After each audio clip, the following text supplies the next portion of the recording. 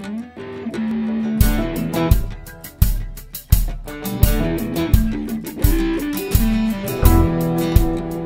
Mark Shepard here, the singing hypnotist, and uh, I've expanded my commentary to include some of the things I'm doing in the realm of money, the hypnosis of money. This is the series that I'm starting, and today is July 31st. We are looking at a chart on goldprice.org of Bitcoin. And uh, I just wanted to point out really quickly that Bitcoin hit its pretty much $3,000 mark here. Uh, let's see, when was that? That was back in June. And then it kind of had a correction. And then we had a low. Uh, this is when I started buying more Bitcoin. And then a week ago, Saturday, so seven, eight, nine days ago, uh, it had a real jump because there was some good news in the market, and I was actually I took out I took out some significant amounts of Bitcoin here. I took some profits because I think a lot of people did. A lot of people took profits, and yet Bitcoin has maintained and is pushing again on this threshold. This these three tops here, you can just see the energy of this market. It wants to move and it's kind of waiting to see what's going to happen.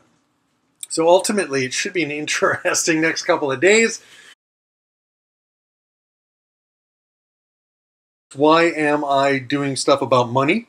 Mostly because back in the last 90 day challenge that I did, I created a course called Beyond Beliefs where I literally worked on a bunch of my limiting beliefs, including one which basically I had a belief that I'm not good with money. You know, I'm just a poor artist, starving artist, you know, just a musician, right?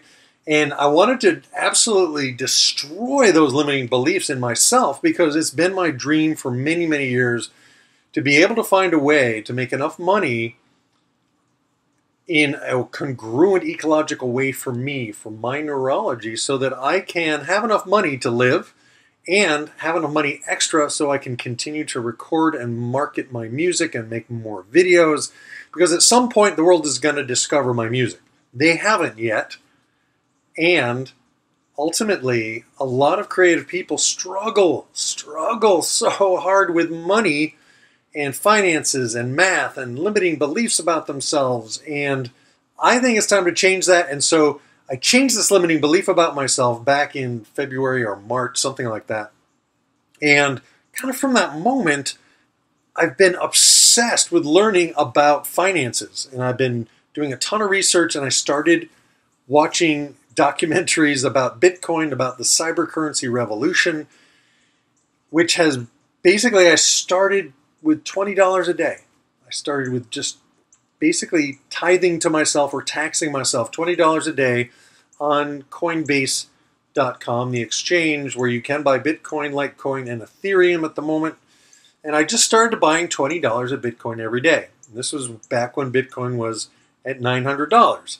I looked at a chart and I just, from a lot of past experience, well, I'll talk about that, I will talk about another time. I, I saw, I looked at the chart part of what I do as a musician is pattern recognition. This is not any different than looking at music waves and seeing the music in this waveform. So this is very natural to me. If you're a musician, this might come naturally to you. And every musician I know needs a good extra source of income.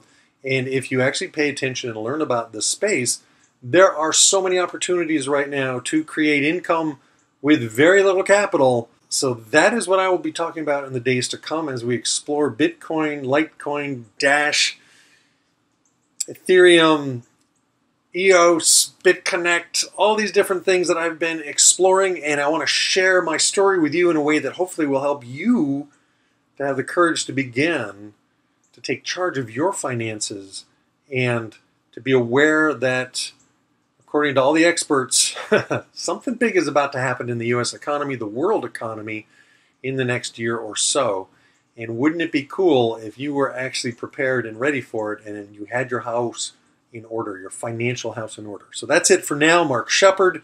And thank you so much for watching. If you are interested in what I'm talking about, please subscribe, please share, please like this. There will be more.